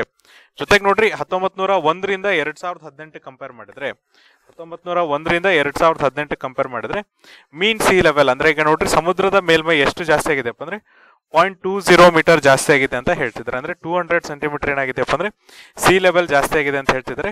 ಆಮೇಲೆ ನೋಡ್ರಿ ಐ ಪಿ ಸಿ ಸಿಯ ಮೊದಲನೇ ವರದಿ ಯಾವಾಗ ಬರುತ್ತಪ್ಪ ಅಂದ್ರೆ ಹತ್ತೊಂಬತ್ ನೂರ ತೊಂಬತ್ತರಲ್ಲಿ ಏನಪ್ಪ ಅಂದ್ರೆ ಈ ವರದಿಯನ್ನ ಪಬ್ಲಿಷ್ ಮಾಡ್ತಾರೆ. ಆಮೇಲೆ ನೋಡ್ರಿ, ಇದು ಪ್ರತಿ ವರ್ಷ, ಪ್ರತಿ ಐದು, ಏಳು ವರ್ಷಕ್ಕೊಮ್ಮೆ ಏನಪ್ಪ ಅಂದ್ರೆ ವರದಿಯನ್ನ ಪಬ್ಲಿಷ್ ಮಾಡ್ತಾ ಹೋಗುತ್ತೆ. ಈ ಐ ಪಿ ಸಿ ಸಿ ವರದಿ ಭಾರತಕ್ಕೆ ಏನ್ ಹೇಳುತ್ತಂದ್ರೆ ನೋಡ್ರಿ, ಸೊ ನೋಡ್ರಿ ಐ ಪಿ ಸಿ ಸಿ ವರದಿ ಭಾರತಕ್ಕೆ ಏನ್ ಹೇಳುತ್ತಪ್ಪ ಅಂದ್ರೆ ಭಾರತ ಮಾತ್ರ ಅಲ್ಲ ಸೌತ್ ಏಷ್ಯಾ ಏನಿದೆ ಅಂದ್ರೆ ದಕ್ಷಿಣ ಏಷ್ಯಾ ಏನಿದೆಯಲ್ಲ, ಇಲ್ಲಿ ಏನಾಗುತ್ತಪ್ಪ ಅಂದ್ರೆ ಈ ಹೀಟ್ ವೇವ್ಸ್ ಜಾಸ್ತಿ ಆಗುತ್ತೆ ಅಂತ ಹೇಳ್ತಿದ್ದಾರೆ. ಅಂದ್ರೆ ಬಿಸಿ ಗಾಳಿ ಬಿಸಿ ಮಾರುತಗಳೇನಪ್ಪ ಅಂದರೆ ಜಾಸ್ತಿ ಆಗುತ್ತೆ. ಎಸ್ಪೆಷಲಿ ಏನಪ್ಪ ಅಂದರೆ ಹ್ಯೂಮಿಡ್ ಹೀಟ್ ವೇವ್ಸ್ ಅಂದ್ರೆ ಈಗ ನೋಡ್ರಿ, ಜಾಸ್ತಿ ತೇವಾಂಶ ಇರುವಂತ ಹೀಟ್ ವೇವ್ಸ್ ಏನಾಗುತ್ತಪ್ಪ ಅಂದ್ರೆ ತುಂಬಾ ಜಾಸ್ತಿ ಆಗುತ್ತೆ ಅಂತ ಹೇಳ್ತಿದ್ರೆ ಆಮೇಲೆ ಇವೇನಪ್ಪ ಅಂದರೆ ಫ್ರೀಕ್ವೆಂಟ್ ಆಗಿರುತ್ತೆ. ಅಂದ್ರೆ ಒಂದಾದ್ಮೇಲೆ ಒಂದು ಬರ್ತಾ ಇರುತ್ತೆ. ಅಂದ್ರೆ ಮುಂಚೆ ಏನಾಗಿತ್ತಪ್ಪ ಅಂದ್ರೆ ಒಂದು ಹೀಟ್ ವೇವ್ ಇಂದ ಬಂದು ಇನ್ನೊಂದು ಹೀಟ್ ವೇವ್ ಬರೋಕ್ಕೆ ದಶಕಗಳ ಗಂಟೆ ಸಮಯ ತೆಗೆದುಕೊಳ್ತಿತ್ತು. ಈಗ ಏನಪ್ಪ ಅಂದ್ರೆ ವರ್ಷಕ್ಕೊಮ್ಮೆನೂ ಕೂಡ ಏನಪ್ಪ ಅಂದರೆ ಹೀಟ್ ವೇವ್ ಅಥವಾ ಬಿಸಿ ಮಾರುತಗಳು ಬರುವಂತ ಸಂಭವ ಇರುತ್ತೆ ಅಂತ ಹೇಳ್ತಿದ್ದಾರೆ. ಇದ್ರ ಜೊತೆಗೆ ನೋಡ್ರಿ ಆನ್ಯುವಲ್ ಮತ್ತೆ ಸಮ್ಮರ್ ರೈನ್ಫಾಲ್ ಅಂದ್ರೆ ಈಗ ವರ್ಷ ಪೂರ್ತಿ ಏನ್ ಮಳೆ ಆಗುತ್ತೆ ಮತ್ತೆ ಬೇಸಿಗೆ ಕಾಲದಲ್ಲಿ ಏನ್ ಮಳೆ ಆಗುತ್ತಲ್ಲ, ಆ ಮಳೆ ಏನಾಗುತ್ತಪ್ಪ ಅಂದ್ರೆ ಜಾಸ್ತಿ ಆಗುತ್ತೆ ಅಂತ ಹೇಳ್ತಿದ್ದಾರೆ. ಈ ಮಳೆ ಜಾಸ್ತಿ ಆದ್ರೆ ಏನಾಗುತ್ತೆ ನೋಡ್ರಿ, ನೀರ್ ಜಾಸ್ತಿ ಆಗುತ್ತೆ ಅಥವಾ ಮಳೆ ಜಾಸ್ತಿ ಆದ್ರೆ ಏನಾಗುತ್ತಪ್ಪ ಅಂದ್ರೆ ನದಿಯಲ್ಲಿ ನೀರ್ ಜಾಸ್ತಿ ಇರುತ್ತೆ, ಇದರಿಂದ ಏನಾಗುತ್ತಪ್ಪ ಅಂದ್ರೆ ರಿವರ್ ಫ್ಲಡ್ಡಿಂಗ್ ಆಗುತ್ತೆ. ಅಂದ್ರೆ ಈ ಒಂದು ಫ್ಲಡ್ಡಿಂಗ್ ಅಥವಾ ಪ್ರವಾಹಗಳು ಕೂಡ ಜಾಸ್ತಿ ಆಗುತ್ತೆ ಅಂತ ಹೇಳ್ತಿದ್ದಾರೆ. ಜೊತೆಗೆ ನೋಡ್ರಿ ಸಮ್ಮರ್ ಕೂಡ ಸಿವಿಯರ್ ಆಗಿರೋದ್ರಿಂದ, ಅಂದ್ರೆ ಹೀಟ್ ವೇವ್ಸ್ ಬರೋದ್ರಿಂದ ಏನಾಗುತ್ತಪ್ಪ ಅಂದ್ರೆ ಕಾಡುಗಳಲ್ಲಿ ಎಲ್ಲ ಏನಾಗಿರುತ್ತಪ್ಪ ಅಂದ್ರೆ ಡ್ರೈ ಸೀಸನ್ ಇರುತ್ತೆ. ಅಂದ್ರೆ ಈಗ ನೋಡ್ರಿ ಫಾರ್ ಎಕ್ಸಾಂಪಲ್ ಏನಪ್ಪ ಅಂದ್ರೆ ವಿಂಟರ್ ಸೀಸನ್ ಮುಗಿದ್ಮೇಲೆ ಏನಪ್ಪ ಅಂದ್ರೆ, ಈ ಒಂದು ಸಮ್ಮರ್ ಸೀಸನ್ ಬರೋದಕ್ಕಿಂತ ಮುಂಚೆ ಎಲ್ಲ ಕಾಡುಗಳಲ್ಲಿ ಎಲೆ ಉದುರಿಸುವಂತ ಸಮಯದಲ್ಲಿ ಏನಪ್ಪ ಅಂದ್ರೆ ಡ್ರೈ ಇರೋದ್ರಿಂದ ಏನಾಗುತ್ತೆ ಅಂದ್ರೆ, ಕಾಡ್ಗಿಚ್ಚುಗಳು ಅಥವಾ ಈ ಒಂದು ಬೆಂಕಿ ಹಚ್ಚುವಂತ ಸಂಭವ ಜಾಸ್ತಿ ಇರುತ್ತೆ. ಅಂದ್ರೆ ಕಾಡುಗಳಿಗೆ ಕಾಡ್ಗಿಚ್ಚು ಹಚ್ಚುವಂತ ಸಂಭವ ಜಾಸ್ತಿ ಇರುತ್ತೆ. ಆಮೇಲೆ ಏನಪ್ಪ ಅಂದ್ರೆ, ಇದು ಕೆಲವು ಕಾಲದಗಳಿಗೆ ಮಾತ್ರ ಇರಲ್ಲ, ಬದಲಾಗಿ ಏನಪ್ಪ ಅಂದ್ರೆ, ದೀರ್ಘಕಾಲದವರೆಗೆ ಇರುತ್ತೆ ಅಂತ ಈ ಒಂದು ವರದಿ ತಿಳಿಸಿದೆ. ಜೊತೆಗೆ ನೋಡ್ರಿ, ಹಿಂದೂ ಕುಶ್ ರೀಜನ್ ಏನಿದೆ? ಹಿಂದೂ ಕುಶ್ ಹಿಮಾಲಯನ್ಸ್ ಏನಿದೆ, ಈ ಹಿಂದೂ ಕುಶ್ ಹಿಮಾಲಯನ್ಸ್ ಅಲ್ಲಿ ಏನಪ್ಪ ಅಂದ್ರೆ ಸ್ನೋ ಏನಿದೆಯಲ್ಲ, ಈ ಸ್ನೋ ಕಮ್ಮಿ ಆಗುತ್ತೆ ಅಂತ ಹೇಳ್ತಿದ್ದಾರೆ. ಜೊತೆಗೆ ನೋಡ್ರಿ ಮೀನ್ ಸಿ ಲೆವೆಲ್ ಅಂದ್ರೆ ಈಗ ನೋಡ್ರಿ, ಸಮುದ್ರದ ಮೇಲ್ಮೈ ಏನಿದೆಯಲ್ಲ, ಅದೇನಪ್ಪ ಅಂದ್ರೆ ಕಂಟಿನ್ಯೂ ಜಾಸ್ತಿ ಆಗ್ತಾ ಹೋಗುತ್ತೆ ಅಂತ ಹೇಳ್ತಿದ್ದಾರೆ. ಇದರಿಂದ ಏನಪ್ಪ ಅಂದ್ರೆ, ಸಮುದ್ರ ತೀರದ ಇರುವ ಪ್ರದೇಶಗಳಲ್ಲಿ ಏನಾಗುತ್ತೆ ಅಂದ್ರೆ, ಪ್ರವಾಹ ಸಂಭವಿಸುವಂತ ಚಾನ್ಸಸ್ ಇರುತ್ತೆ ಅಂತ ಹೇಳ್ತಿದ್ದಾರೆ. ಅಂದ್ರೆ ನೋಡ್ರಿ ಸಮುದ್ರದ ಪಕ್ಕದಲ್ಲಿ ಅಥವಾ ತೀರದಲ್ಲಿ ಇರುವಂತ ಪ್ರದೇಶಗಳಿಗೆ ಏನಪ್ಪ ಅಂದ್ರೆ ಪ್ರವಾಹ ಜಾಸ್ತಿ ಆಗುತ್ತೆ. ಯಾಕಂದ್ರೆ ಪ್ರತಿ ವರ್ಷನೂ ಏನಾಗ್ತಿದೆ ಅಂದ್ರೆ ಸಮುದ್ರದ ಮೇಲ್ಮೈ ಪ್ರದೇಶ ಜಾಸ್ತಿ ಆಗ್ತಾ ಇರೋದ್ರಿಂದ, ಅಂದ್ರೆ ಸಿ ಲೆವೆಲ್ ರೈಸ್ ಆಗ್ತಾ ಇರೋದ್ರಿಂದ ಏನಾಗುತ್ತಪ್ಪ ಅಂದ್ರೆ ಈ ಒಂದು ಪ್ರವಾಹವನ್ನು ಕೂಡ ಜಾಸ್ತಿ ಆಗುತ್ತಂತ ಈ ಒಂದು I P C C panel ಹೇಳಿದೆ. ಸೊ ಈಗ ನೋಡ್ರಿ ಈ ವರದಿಯನ್ನ ನೋಡ್ತಾ ಹೋಗೋಣ. ಇಲ್ಲೇನ್ ಹೇಳ್ತಿದ್ರಂದ್ರೆ ನಾವೇನಾದ್ರೂ ಈಗ ಕ್ಲೈಮೇಟ್ ಚೇಂಜ್ ಅಥವಾ ಈಗ ಏನಪ್ಪ ಅಂದ್ರೆ ತಾಪಮಾನ ಜಾಸ್ತಿ ಆಗ್ತಿದೆಯಲ್ಲ, ಅದನ್ನೇನಪ್ಪ ಅಂದ್ರೆ ಒಂದೂವರೆ ಡಿಗ್ರಿಗಿಂತ ಜಾಸ್ತಿ ಮಾಡದೇ ಇದ್ರೆ, ಅಂದ್ರೆ ಒಂದೂವರೆ ಡಿಗ್ರಿಗಿಂತ ಕಡಿಮೆ ಮಾಡದೇ ಇದ್ರೆ, ಇದರಿಂದ ಏನಾಗುತ್ತಪ್ಪ ಅಂದ್ರೆ ನಮ್ಮ ಒಂದು ಭೂ ಪ್ರದೇಶದ ಮೇಲೆ ನೋಡ್ರಿ ಇರ್ರಿವರ್ಸೇಬಲ್ ಇಂಪ್ಯಾಕ್ಟ್ ಆಗುತ್ತೆ ಅಂತ ಹೇಳ್ತಿದ್ದಾರೆ. ಅಂದ್ರೆ ಯಾವುದೇ ಕಾರಣಕ್ಕೂ ಬದಲಾವಣೆ ಮಾಡದೇ ಇರುವಂತ ಇಂಪ್ಯಾಕ್ಟ್ ಆಗುತ್ತೆ ಅಂತ ಹೇಳ್ತಿದ್ದಾರೆ. ಈ ಒಂದು ವರದಿಯನ್ನ ಕೊಟ್ಟವ್ರು ಯಾರಪ್ಪ ಅಂದ್ರೆ I P C C inter government panel on climate change ಅವರು ಏನಪ್ಪ ಅಂದ್ರೆ ವರದಿಯನ್ನ ಮಾಡಿದ್ದಾರೆ. ಜೊತೆಗೆ ನೋಡ್ರಿ ಈ ವರದಿಯಲ್ಲಿ ಏನ್ ಹೇಳುತ್ತಂದ್ರೆ ನಮಗೇನೀಗ ಅಪಾರ್ಚುನಿಟಿ ಇದೆ ಎಸ್ಪೆಷಲಿ ಯಾವ್ದಕ್ಕೆ ಅಪಾರ್ಚುನಿಟಿ ಅಪ್ಪ ಅಂದ್ರೆ, ಹವಾಮಾನ ಬದಲಾವಣೆ ಮಾಡೋದಕ್ಕೆ ಏನು ಅವಕಾಶ ಇದೆಯಲ್ಲ, ಆ ಅವಕಾಶನೂ ಕೂಡ ನಾವು ಕಳೆದುಕೊಳ್ತೀವಿ ಅಂತ ಈ ವರದಿಯಲ್ಲಿ ಏನಪ್ಪ ಅಂದ್ರೆ ಐ ತಿಳಿಸಿದೆ. ಜೊತೆಗೆ ನೋಡ್ರಿ ಇವರು ಸೋಮವಾರ ವರದಿಯಲ್ಲಿ ಏನ್ ಹೇಳಿದ್ದಾರೆ ಅಂದ್ರೆ, ಈಗೇನ್ ಎಕೋಸಿಸ್ಟಮ್ ಇದೆ, ಮತ್ತೆ ಮಾನವನ ಒಂದು ಆರೋಗ್ಯ ಏನಿದೆ, ಮತ್ತೆ ಈ ಒಂದು ಪ್ಲಾನೆಟರಿ ಆರೋಗ್ಯ ಏನಿದೆಯಲ್ಲ ಅದೇನಾಗ್ತಿದೆಯಪ್ಪ ಅಂದ್ರೆ ಈಗ ಮುಳುಗ್ ಹೋಗ್ತಾ ಇದೆ. ಇದಕ್ಕೆ ಮುಖ್ಯ ಕಾರಣ ಏನಪ್ಪ ಅಂದ್ರೆ, ಇದು ಚೇಂಜ್ ಆಗ್ತಿರೋಕ್ ಮುಖ್ಯ ಕಾರಣ ಏನಪ್ಪ ಅಂದ್ರೆ, ಹವಾಮಾನ ಬದಲಾವಣೆ ಅಂತ ಹೇಳ್ತಿದ್ರೆ ಜೊತೆಗೆ ನೋಡ್ರಿ, ನಮ್ಗೆ ಒಂದು ಅವಕಾಶ ಐತಿ. ಯಾವುದಕ್ಕೋಸ್ಕರ ಅವಕಾಶ ಐತಪ್ಪ ಅಂದ್ರೆ, ಈ ಒಂದು ಸೆಕ್ಯೂರ್ ಲೈವ್ಲಿಹುಡ್ ಅನ್ನ ಬಳಸ್ಕೊಳ್ಳೋದಕ್ಕೆ. ಅಂದ್ರೆ ಈಗ ನೋಡ್ರಿ, ಹವಾಮಾನ ಬದಲಾವಣೆ ಏನಾಗಿದೆಲ್ಲ ಅದು ನಮಗೊತ್ತು ಗೊತ್ತು, ಬದಲಾವಣೆ ಆಗಿದೆ ಅಂತ. ಅದನ್ನು ನಾವು ಚೇಂಜ್ ಮಾಡಿ ನಾವೇನ್ ಮಾಡ್ಬೋದಿತ್ತಪ್ಪ ಅಂದ್ರೆ ಸಸ್ಟೈನೇಬಲ್ ಫ್ಯೂಚರ್ಸ್ ಅಂದ್ರೆ, ಸುಸ್ಥಿರವಾದ ಒಂದು ಭವಿಷ್ಯವನ್ನು ನಾವೇನ್ ಕಟ್ಕೋಬೇಕಿತ್ತಲ್ಲ, ಆ ಒಂದು ಕಟ್ಕೊಳ್ಳೋದಕ್ಕಿರುವಂತ ಅವಕಾಶನೂ ಕೂಡ ಏನಾಗ್ತಿದೆ ಅಂದ್ರೆ, ಬರ್ತಾ ಬರ್ತಾ ಕಡಿಮೆ ಆಗ್ತಿದೆ ಅಂತ ವರದಿ ಏನ್ ಮಾಡಿದೆ ಅಂದ್ರೆ ಸಿ ವರದಿ ಸೋಮವಾರ ತಿಳಿಸಿದೆ. ಸೊ ನೋಡ್ರಿ, ಈ ವಿಶ್ವಸಂಸ್ಥೆಯ ಪ್ಯಾನಲ್ ಏನಿದೆಯಲ್ಲ ಇದು ಯಾವುದೇ ತರನಾಗಿ ಏನಪ್ಪ ಅಂದ್ರೆ ಸೈಂಟಿಫಿಕ್ ಅಸೆಸ್ಮೆಂಟ್ ಅನ್ನ ಮಾಡಿಲ್ಲ ಅಥವಾ ಸೈಂಟಿಫಿಕ್ ವರದಿಯನ್ನ ಮಾಡಿಲ್ಲ. ಬದಲಾಗಿ ಇವ್ರು ಏನಪ್ಪ ಅಂದ್ರೆ ವೇರಿಯಸ್ ರಿಪೋರ್ಟ್ಸ್ ಏನಿದೆಯಲ್ಲ ಆ ಒಂದು ವರದಿಯ ಮೇಲೆ ಏನಪ್ಪ ಅಂದ್ರೆ, ತಮ್ಮ ವರದಿಯನ್ನ ತಯಾರು ಮಾಡಿದ್ದಾರೆ. ಎಸ್ಪೆಷಲಿ ನೋಡ್ರಿ, ನಾನು ಆಗ್ಲೇ ಹೇಳಿದೆ ತ್ರೀ ವರ್ಕಿಂಗ್ ಗ್ರೂಪ್ಸ್ ಇರುತ್ತೆ ಅಂತ ಹೇಳಿ ಫಸ್ಟ್ನೇ ವರ್ಕಿಂಗ್ ಗ್ರೂಪ್ ಏನಪ್ಪ ಅಂದ್ರೆ ಸೈಂಟಿಫಿಕ್ ಫೌಂಡೇಶನ್ ಅನ್ನು ಹುಡುಕುತ್ತೆ. ಈ ಕ್ಲೈಮೇಟ್ ಚೇಂಜ್ ಕಾರಣಗಳೇನು? ಎರಡನೇದು ಏನಪ್ಪ ಅಂದ್ರೆ ತನಿಖೆ ನಡೆಸುತ್ತೆ. ಇದಕ್ಕೆ ಈ ಹವಾಮಾನ ಬದಲಾವಣೆ ಆದ್ರೆ ನಮ್ಗೆ ಆಗಬಹುದಾದಂತ ತೊಂದರೆಗಳೇನೆ ಅಂತ ಹೇಳುತ್ತೆ. ಮೂರನೇದು ಏನಪ್ಪ ಅಂದ್ರೆ ಹವಾಮಾನ ಬದಲಾವಣೆನ ನಾವು ಯಾವ ತರನಾಗಿ ಕಮ್ಮಿ ಮಾಡ್ಬೇಕು ಅನ್ನೋದು ಏನಪ್ಪ ಅಂದ್ರೆ ಹೇಳುತ್ತೆ. ಈ ತರನಾಗಿ ಮೂರು ವರ್ಕಿಂಗ್ ಗ್ರೂಪ್ಸ್ ಏನಿರುತ್ತಲ್ಲ, ಆ ವರದಿಯನ್ನು ಇಟ್ಕೊಂಡು ಏನಪ್ಪ ಅಂದ್ರೆ ಐ ಪಿ ಸಿ ಸಿ ಒಂದು ವರದಿಯನ್ನ ತಯಾರು ಮಾಡಿದೆ. ಸೊ ನೋಡ್ರಿ ಇದನ್ನೇನಪ್ಪ ಅಂದ್ರೆ ಸಿಕ್ಸ್ತ್ ಅಸೆಸ್ಮೆಂಟ್ ಸೈಕಲ್ ಅಲ್ಲಿ ಏನಪ್ಪ ಅಂದ್ರೆ ಇವರು ತಯಾರು ಮಾಡಿದ್ದಾರೆ. ಸೊ ನೋಡ್ರಿ ಐ ಪಿ ಸಿ ಸಿಯ ಮುಂದಿನ ರಿಪೋರ್ಟ್ ಯಾವಾಗ ಬರುತ್ತಪ್ಪ ಅಂದ್ರೆ ಎರಡ್ ಸಾವಿರದ ಮೂವತ್ತರ ಹೊತ್ತಿಗೆ ಬರುತ್ತೆ. ನಾನು ಆಗ್ಲೇ ಹೇಳಿದೆ, ಪ್ರತಿ ಏಳು ವರ್ಷಕ್ಕೊಮ್ಮೆ ಅಥವಾ ಎಂಟು ವರ್ಷಕ್ಕೊಮ್ಮೆ ಏನಪ್ಪ ಅಂದ್ರೆ ಇವರು ರಿಪೋರ್ಟ್ ಅನ್ನ ತಯಾರು ಮಾಡ್ತಾರೆ. ಹಾಗಾಗಿ ಎರಡ್ ಸಾವಿರದ ಇಪ್ಪತ್ತೆರಡರಲ್ಲಿ ರಿಪೋರ್ಟ್ ಅನ್ನ ತಯಾರು ಮಾಡಿದ್ರು. ಮುಂದೆ ಏಳು ಅಥವಾ ಎಂಟು ವರ್ಷ ಅಂದ್ರೆ ಎರಡ್ ಸಾವಿರದ ಮೂವತ್ತಕ್ಕೆ ಏನಪ್ಪ ಅಂದ್ರೆ ನೆಕ್ಸ್ಟ್ ರಿಪೋರ್ಟ್ ಬರುತ್ತೆ ಅಂತ ಹೇಳ್ತಿದ್ದಾರೆ. ಆಮೇಲೆ ನೋಡ್ರಿ ಐ ಪಿ ಸಿ ಸಿ ವರದಿ ಏನ್ ತಿಳಿಸುತ್ತಂದ್ರೆ, ಈಗೇ ನಮಗೇನು ಅವಕಾಶ ಇತ್ತು? ಒಂದೂವರೆ ಡಿಗ್ರಿ ಸೆಲ್ಸಿಯಸ್ ಏನು? ಈಗ ಹವಾಮಾನ ಬದಲಾವಣೆ ಆಗಿದ್ದಲ್ಲ, ಅದನ್ನೇನು ಕಡಿಮೆ ಮಾಡುವಂತ ಅವಕಾಶ ಇತ್ತಲ್ಲ, ಅದು ಸಂಪೂರ್ಣವಾಗಿ ಈಗ ನಮಗೆ ಕಳೆದು ಹೋಗ್ತಾ ಇದೆ ಅಂತ ಹೇಳ್ತಿದ್ದಾರೆ. ಜೊತೆಗೆ ನೋಡ್ರಿ, ಒಂದೂವರೆ ಡಿಗ್ರಿ ಜಾಸ್ತಿ ಆಗೋದ್ರಿಂದ ಎಲ್ಲಿ ಹೆಚ್ಚಿನ ಇಂಪ್ಯಾಕ್ಟ್ ಆಗುತ್ತೆ ಅಥವಾ ಹೆಚ್ಚಿನ ತೊಂದರೆ ಎಲ್ಲಾಗುತ್ತಪ್ಪ ಅಂದ್ರೆ, ಕೆಲವೊಂದಿಷ್ಟು ಜೀವಗೋಳದ ಮೇಲೆ ಮಾತ್ರ ಏನಪ್ಪ ಅಂದ್ರೆ ಈ ಹೆಚ್ಚಿನ ಇಂಪ್ಯಾಕ್ಟ್ ಆಗುತ್ತೆ ಅಂತ ಹೇಳ್ತಿದ್ರೆ ಎಸ್ಪೆಷಲಿ ಎಲ್ಲಪ್ಪ ಅಂದ್ರೆ ಪೋಲಾರ್ ಮೌಂಟೇನ್ಸ್ ಅಲ್ಲಿ. ಅಂದ್ರೆ ಈಗ ನೋಡ್ರಿ, ಈ ಧ್ರುವದ ಕಡೆ ಏನಪ್ಪ ಅಂದ್ರೆ ಹಿಮ ಜಾಸ್ತಿ ಇರೋದ್ರಿಂದ ಅಲ್ಲಿ ಹಿಮ ಕರಗುತ್ತೆ ಅಂತ ಹೇಳ್ತಿದ್ದಾರೆ.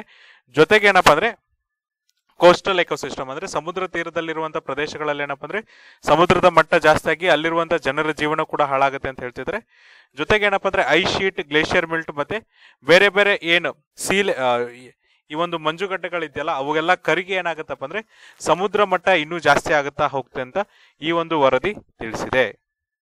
ಕೆಲವೊಂದಿಷ್ಟು ಆಕ್ಷನ್ಸ್ ಏನಿದೆ ಅಥವಾ ಕೆಲವೊಂದಿಷ್ಟು ಚೇಂಜಸ್ ಏನಿದೆಯಲ್ಲ ಅದು ಅನ್ಅವಾಯ್ಡಬಲ್ ಇದೆ. ಅಂದರೆ ನೀವು ಅದನ್ನು ಸಂಪೂರ್ಣವಾಗಿ ತೊಲಗಿಸೋಕ್ಕಾಗಲ್ಲ. ಬದಲಾಗಿ ನಾವೇನಪ್ಪ ಅಂದರೆ ಡೀಪ್ ರ್ಯಾಪಿಡ್ ಮತ್ತು ಏನಪ್ಪ ಅಂದರೆ ಸಸ್ಟೈನೇಟ್ ಎಫರ್ಟನ್ನು ತೆಗೆದುಕೊಂಡ್ರೆ, ಅಂದರೆ ನೋಡ್ರಿ, ತುಂಬ ಆಳವಾದ ಮತ್ತು ರ್ಯಾಪಿಡ್ ಆದಂಥ ಏನಪ್ಪ ಅಂದರೆ ಸುಸ್ಥಿರವಾದ ಕೆಲವೊಂದಿಷ್ಟು ಗ್ರೀನ್ ಹೌಸ್ ಗ್ಯಾಸಸ್ಗೆ ಎಮಿಷನ್ಸ್ನ ಕಮ್ಮಿ ಮಾಡಿದ್ರೆ, ಅಂದ್ರೆ ಗ್ರೀನ್ ಹೌಸ್ ಗ್ಯಾಸಸ್ಸನ್ನು ನಾವೇನು ಹಸಿರು ಮನೆ ಅನಿಲಗಳನ್ನ ನಾವೇನು ಹೊರಸೂಸ್ತಿದ್ವಲ್ಲ, ಅದನ್ನು ಕಮ್ಮಿ ಮಾಡಿದ್ರೆ ಏನಪ್ಪ ಅಂದರೆ ಈ ರಿಡಕ್ಷನ್ ಆಗುತ್ತೆ ಅಂತ ಹೇಳ್ತಿದ್ದಾರೆ.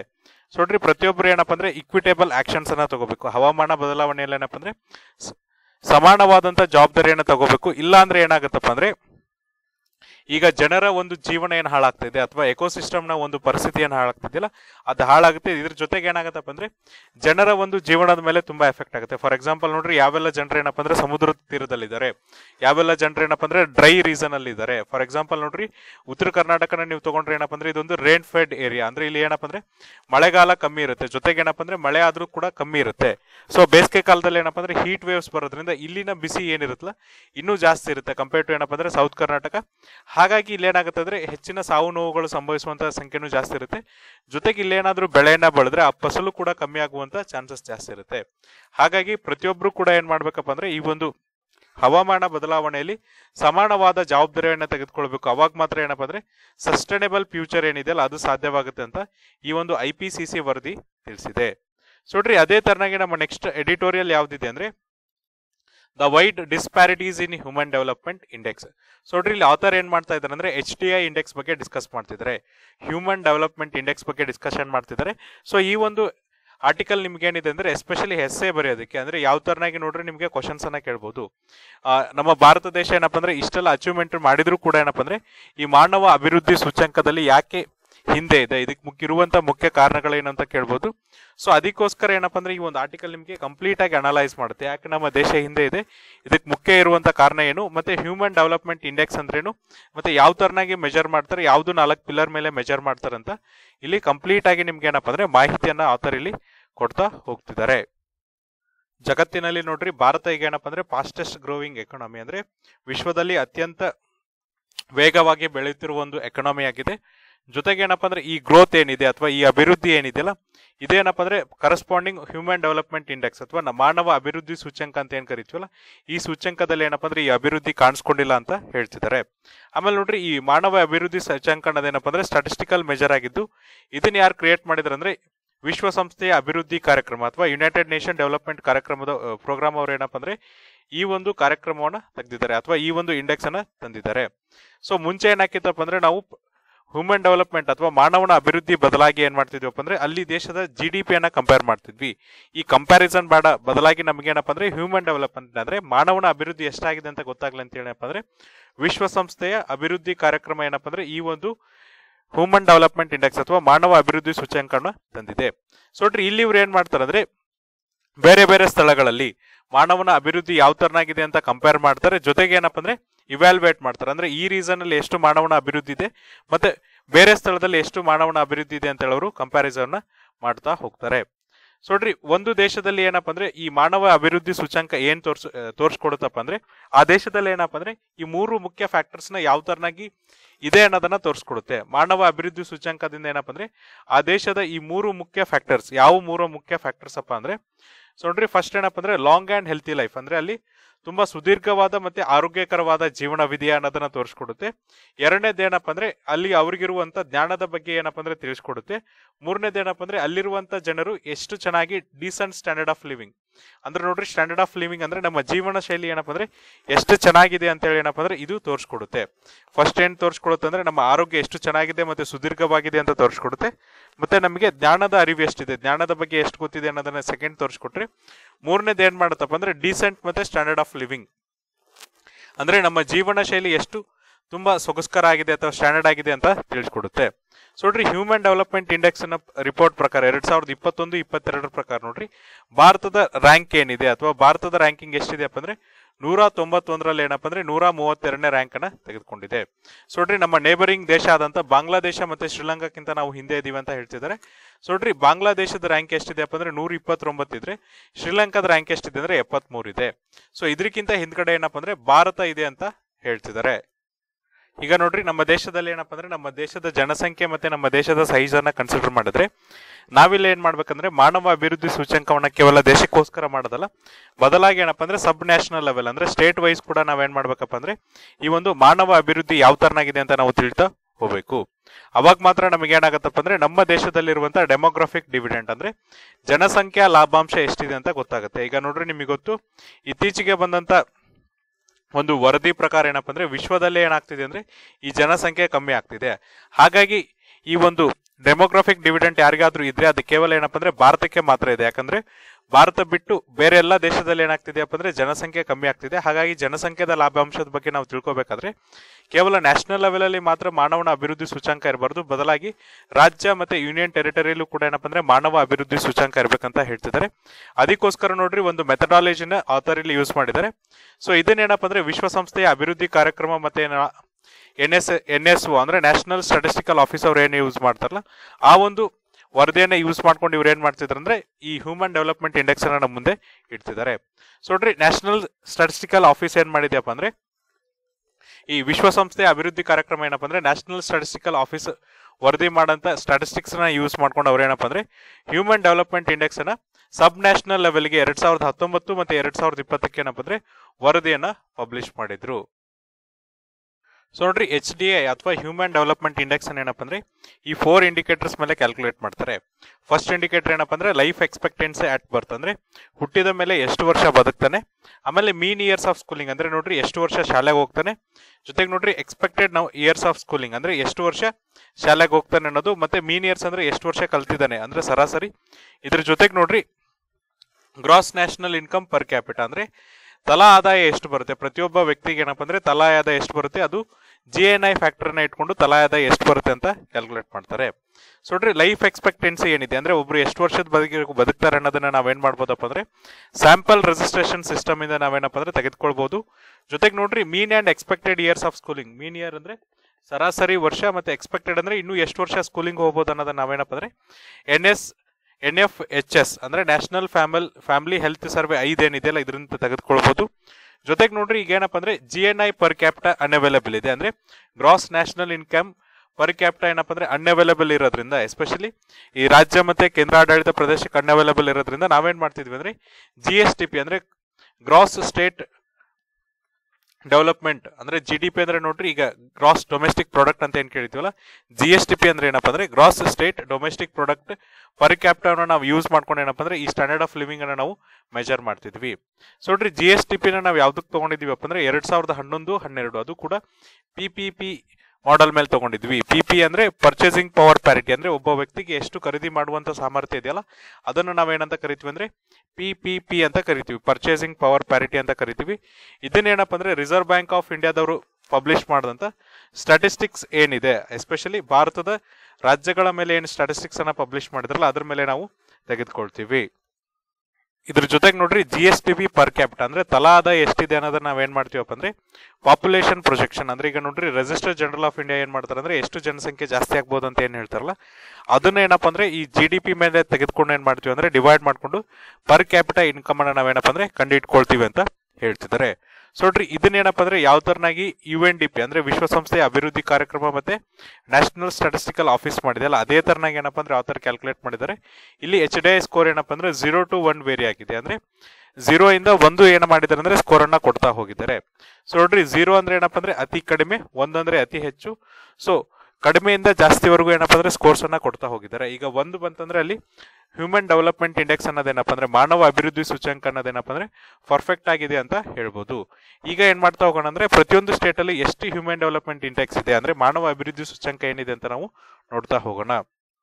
ಸೊ ನೋಡ್ರಿ ಇವರು ತಯಾರು ಮಾಡಿದಂತ ಮಾನವ ಅಭಿವೃದ್ಧಿ ಸೂಚ್ಯಂಕ ಯಾವ ತರನಾಗಿದೆ ಅಂದ್ರೆ ಸೊ ನೋಡ್ರಿ ಇಲ್ಲಿ ಕೆಲವೊಂದಿಷ್ಟು ರಾಜ್ಯಗಳೇನಪ್ಪ ಅಂದ್ರೆ ತುಂಬಾ ಚೆನ್ನಾಗಿ ಕೆಲಸ ಮಾಡಿದ್ರೆ, ಇನ್ ಕೆಲವೊಂದಿಷ್ಟು ರಾಜ್ಯಗಳೇನಪ್ಪ ಅಂದ್ರೆ ಅಷ್ಟು ಸರಿಯಾಗಿ ಕೆಲಸ ಮಾಡಿಲ್ಲ. ಸೊ ಇಲ್ಲಿ ನೋಡ್ರಿ, ಡೆಲ್ಲಿ ಅನ್ನೋದೇನಪ್ಪ ಅಂದ್ರೆ ಟಾಪ್ ಸ್ಪಾಟ್ ಅಲ್ಲಿ ಇದೆ. ಎಸ್ಪೆಷಲಿ ಮಾನವ ಅಭಿವೃದ್ಧಿ ಸೂಚ್ಯಂಕದಲ್ಲಿ ಏನಪ್ಪ ಅಂದ್ರೆ ಫಸ್ಟ್ ರ್ಯಾಂಕ್ ಇದೆ. ಅದೇ ಬಿಹಾರ್ ಅನ್ನೋದೇನಪ್ಪ ಅಂದ್ರೆ ಬಾಟಮ್ ಸ್ಪಾಟ್ ಅಲ್ಲಿ ಇದೆ ಅಂತ ಹೇಳ್ತಿದ್ದಾರೆ. ಆಮೇಲೆ ನೋಡ್ರಿ, ಇದನ್ನ ನಾವು ನೋಟ್ ಮಾಡ್ಕೋಬೇಕು ಏನಪ್ಪ ಅಂದ್ರೆ ಬಿಹಾರ್ ಏನಿದೆಯಲ್ಲ, ಇದನ್ನ ಯಾವುದೇ ತರನಾಗಿ ನಾವೇನಪ್ಪ ಅಂದ್ರೆ ಲೋ ಹ್ಯೂಮನ್ ಡೆವಲಪ್ಮೆಂಟ್ ಸ್ಟೇಟ್ ಅಂತ ಕರೆಯಂಗಿಲ್ಲ. ಅಂದ್ರೆ ಮಾನವನ ಅಭಿವೃದ್ಧಿ ಸೂಚ್ಯಾಂಕದಲ್ಲಿ ಏನಪ್ಪ ಅಂದ್ರೆ ಅತಿ ಕಡಿಮೆ ಅಂತ ಕನ್ಸಿಡರ್ ಮಾಡೋಕ್ಕಾಗಲ್ಲ. ಯಾಕಂದ್ರೆ ಅಷ್ಟು ಅಭಿವೃದ್ಧಿ ಆಗಿದೆ ಬಟ್ ಆದ್ರೂ ಕೂಡ ಏನಪ್ಪ ಅಂದ್ರೆ ಬಾಟಮ್ ಸ್ಪೇಸ್ ಅಲ್ಲಿ ಇದೆ ಅಂತ ಹೇಳ್ತಿದ್ದಾರೆ. ನೋಡ್ರಿ, ಐದು ರಾಜ್ಯಗಳು ಏನ್ ಮಾಡಿದೆ ಅಂದ್ರೆ highest H D I score ಅನ್ನು ಹೊಂದಿದೆ. ಅಂದ್ರೆ ಹ್ಯೂಮನ್ ಡೆವಲಪ್ಮೆಂಟ್ ಇಂಡೆಕ್ಸ್ ಅಥವಾ ಮಾನವ ಅಭಿವೃದ್ಧಿ ಸೂಚ್ಯಾಂಕವನ್ನು ಹೊಂದಿದೆ. ಯಾವೆಲ್ಲ ಐದು ರಾಜ್ಯಗಳಂದ್ರೆ ನೋಡ್ರಿ ಡೆಲ್ಲಿ ಗೋವಾ ಕೇರಳ ಸಿಕ್ಕಿಂ ಚಂಡೀಗಢ ಈ ಐದು ರಾಜ್ಯಗಳು ಮತ್ತೆ ಕೇಂದ್ರಾಡಳಿತ ಪ್ರದೇಶಗಳು ಏನಪ್ಪ ಅಂದ್ರೆ ಟಾಪ್ ಫೈವ್ ಪೊಸಿಷನ್ ಅನ್ನ ಹೊಂದಿದೆ ಅಂತ ಹೇಳ್ತಿದ್ದಾರೆ. ಆಮೇಲೆ ನೋಡ್ರಿ, ಡೆಲ್ಲಿ ಮತ್ತೆ ಗೋವಾದಲ್ಲಿ ಏನಪ್ಪ ಅಂದ್ರೆ ಮಾನವ ಅಭಿವೃದ್ಧಿ ಸೂಚ್ಯಂಕ ಎಷ್ಟಿದೆ ಅಂದ್ರೆ ಪಾಯಿಂಟ್ ಸೆವೆನ್ ನೈನ್ ನೈನ್ ಅಂದ್ರೆ ಪಾಯಿಂಟ್ ಸೆವೆನ್ ನೈನ್ ನೈನ್ ಕಿಂತ ಏನಪ್ಪಾ ಅಂದ್ರೆ ಜಾಸ್ತಿ ಇದೆ ಅಂತ ಹೇಳ್ತಿದ್ರೆ ಇದು ಏನ್ ಮಾಡುತ್ತಂದ್ರೆ ನಮ್ನ ಈಸ್ಟರ್ನ್ ಯುರೋಪಿಯನ್ ಕಂಟ್ರೀಸ್ ಏನಿದೆ ಅಂದ್ರೆ ಪೂರ್ವ ಯುರೋಪಿಯನ್ ದೇಶಗಳೇನಿದೆ ಅಲ್ಲಿ ಏನಪ್ಪ ಅಂದ್ರೆ ಮಾನವ ಅಭಿವೃದ್ಧಿ ಸೂಚಂಕ ಜಾಸ್ತಿ ಇರುತ್ತಲ್ಲ, ಆ ದೇಶಕ್ಕೆ ಇದೇನಾಗುತ್ತಪ್ಪ ಅಂದ್ರೆ ಸರಿಸಾಟಿ ಆಗುತ್ತೆ ಅಂತ ಹೇಳ್ತಿದ್ದಾರೆ. ಯಾವುದು ಸರಿಸಾಟಿ ಆಗುತ್ತೆ ಅಂದ್ರೆ ಡೆಲ್ಲಿ ಮತ್ತೆ ಗೋವಾ ಮಾನವ ಅಭಿವೃದ್ಧಿ ಸೂಚಂಕ ಏನಪ್ಪ ಅಂದ್ರೆ ಪೂರ್ವ ಯುರೋಪಿಯನ್ ದೇಶಗಳೇನಿದೆಯಲ್ಲ, ಅದಕ್ಕೆ ಸರಿಸಾಟಿ ಆಗುತ್ತೆ ಅಂತ ಹೇಳ್ತಿದ್ದಾರೆ. ಆಮೇಲೆ ನೋಡ್ರಿ, ಹತ್ತೊಂಬತ್ತು ರಾಜ್ಯಗಳು ಏನಾಗಿದೆಯಪ್ಪ ಅಂದ್ರೆ, ಮಾನವ ಅಭಿವೃದ್ಧಿ ಸೂಚಂಕ ಇನ್ನೂ ಚೆನ್ನಾಗಿದೆ. ಅವು ಏನ್ ಮಾಡಿದಾವೆ ಅಂದ್ರೆ, ಏಳರಿಂದ ಪಾಯಿಂಟ್ ಸೆವೆನ್ ಇಂದ ಪಾಯಿಂಟ್ ಸೆವೆನ್ ನೈನ್ ನೈನ್ ವರೆಗೂ ಸ್ಕೋರ್ ಮಾಡಿದ್ದಾರೆ ಅಂತ ಹೇಳ್ತಿದ್ದಾರೆ. ಈ ರಾಜ್ಯಗಳು ಯಾವ್ದಪ್ಪ ಅಂದ್ರೆ, ಕೇರಳ, ಮಹಾರಾಷ್ಟ್ರ, ತಮಿಳುನಾಡು, ಹರಿಯಾಣ, ಪಂಜಾಬ್, ತೆಲಂಗಾಣ, ಗುಜರಾತ್, ಆಂಧ್ರ ಪ್ರದೇಶ, ಮತ್ತೆ ಇನ್ನೂ ಕೆಲವೊಂದಿಷ್ಟು ರಾಜ್ಯಗಳು ಏನಪ್ಪ ಅಂದ್ರೆ, ಒಟ್ಟು ಹತ್ತೊಂಬತ್ತು ರಾಜ್ಯಗಳು ಏನಪ್ಪ ಅಂದ್ರೆ, ಏಳರಿಂದ seven point sorry point seven nine nine ವರೆಗೂ ಸ್ಕೋರ್ ಅನ್ನ ಮಾಡಿದೆ. ಇವುಗಳನ್ನು ನಾವು ಏನಂತ ಕ್ಲಾಸಿಫೈ ಮಾಡ್ಬೋದಪ್ಪ ಅಂದ್ರೆ ಹೈ ಹ್ಯೂಮನ್ ಡೆವಲಪ್ಮೆಂಟ್ ಸ್ಟೇಟ್ಸ್ ಅಂದ್ರೆ ಅತಿ ಹೆಚ್ಚು ಮಾನವ ಅಭಿವೃದ್ಧಿ ಹೊಂದಿರುವಂಥ ಅಥವಾ ಅತಿ ಹೆಚ್ಚು ಮಾನವನ ಅಭಿವೃದ್ಧಿ ಕಡೆಗೆ ಏನಪ್ಪ ಅಂದರೆ ಹೊಂದಿರುವಂಥ ರಾಜ್ಯಗಳು. ಅಭಿವೃದ್ಧಿ ಸೂಚ್ಯಂಕನ ಹೊಂದಿರುವ ರಾಜ್ಯಗಳನ್ನಾಗಿ ನಾವೇನಪ್ಪ ಅಂದರೆ ಇದನ್ನ ಕನ್ಸಿಡರ್ ಮಾಡಬಹುದು ಅದೇ ಥರನ ನೋಡ್ರಿ ಈ ಬಾಟಮ್ ಫೈವ್ ಸ್ಟೇಟ್ ಅಂದ್ರೆ ಅತಿ ಕಳಪೆಯಾಗಿ ಮಾನವ ಅಭಿವೃದ್ಧಿ ಸೂಚ್ಯಂಕವನ್ನು ಹೊಂದಿರುವ ಐದು ರಾಜ್ಯಗಳು ಯಾವ್ದಪ್ಪ ಅಂದ್ರೆ ಬಿಹಾರ್, ಉತ್ತರ ಪ್ರದೇಶ್ ಮಧ್ಯಪ್ರದೇಶ್ ಜಾರ್ಖಂಡ್ ಮತ್ತೆ ಅಸ್ಸಾಂ ಅಂತ ಹೇಳ್ತಿದ್ದಾರೆ. ಇಲ್ಲಿ ನಾವೇನ್ ಮಾಡ್ಬೋದು ಅಂದ್ರೆ ಮಾನವ ಅಭಿವೃದ್ಧಿ ಸೂಚ್ಯಂಕ ಏನಿದೆಯಲ್ಲ, ಇದು ಮಧ್ಯಮ ಹಂತದಲ್ಲಿದೆ ಅಂತ ಹೇಳ್ಬೋದು. ಸೊ ನೋಡ್ರಿ ಹತ್ತೊಂಬತ್ತು ರಾಜ್ಯಗಳು ಏನಪ್ಪ ಅಂದ್ರೆ ಹೈ ಲೆವೆಲ್ ಅಲ್ಲಿ ಇದೆ. ಅಂದ್ರೆ ಉತ್ತಮ ಹಂತದಲ್ಲಿದೆ ಅಂತ ನಾವೇನು ಹೇಳ್ತೀವಲ್ಲ?